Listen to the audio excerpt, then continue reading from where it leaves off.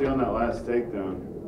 What did I see? Yeah, well, break it down for me if you would. Uh, I just the coaches have been stressing to us. I mean, trust your training. Go. I mean, we've trained so hard. We worked so hard in the preseason, and I just, I guess, it came down to my conditioning, and I took advantage of it.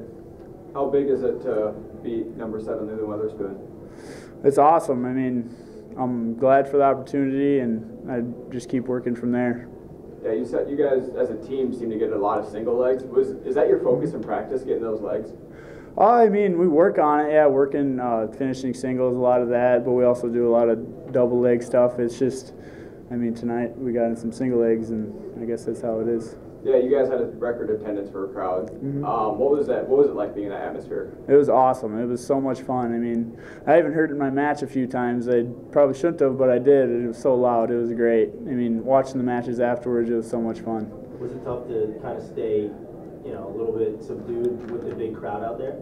I mean, it's nerve wracking when there's so many people out there yelling and screaming at you, but it, if you stay in your shell, I mean, the wrestling room was right there, which helped a lot, and we just stayed in there and stayed focused. It's only November, but how big is this one for the, the program?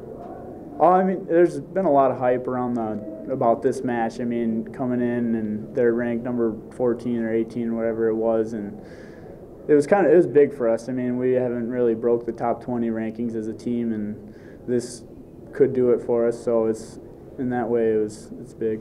You guys are an up and coming squad. Um, how much noise do you think you can make as the season goes on?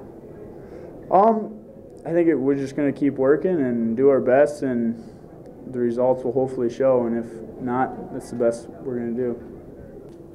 What was the atmosphere like? It was incredible. Like compared to last year, there was probably less than a thousand at every dual except for one of them, and this year packed in there. You could hear it just walking out there, getting ready to wrestle. It was, it was awesome, man. I mean, and you could see we wrestled good, and I think that atmosphere played into the match real well and helped us go out there and do our thing. And uh, late in those matches, like in David Kocer's match, like when the crowd started yelling at the end, he went and got that takedown. I think that helped that atmosphere. So it was awesome, and we just need to keep continuing to build here and keep putting on a show for these guys so that we can keep getting more fans out.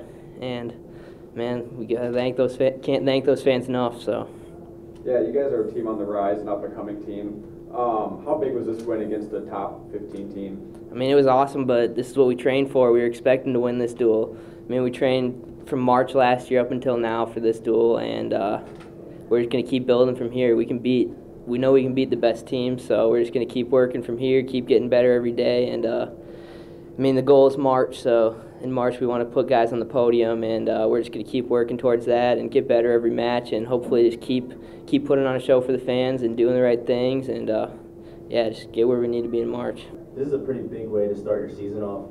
You know, as a team, what do you kind of tell your guys to keep them humble enough to want to keep moving forward? Mm-hmm. I mean, it, this was an awesome win, like you said, for us. Huge for the program, huge for everything, but our end goal is March, and uh, that's what we're going to strive for every day. And just with that in mind, like a dual like this, yes, it put it's awesome, but we're going to get back here on Monday and just keep getting after it harder and harder and get better every day. Because, I mean, some guys, our 41 pounder, he was right there, could have won our 25 pounder right there, could have won the match. 97, that was a that was a tough loss, and uh, those guys will have a fire under them now to push them going forward, but.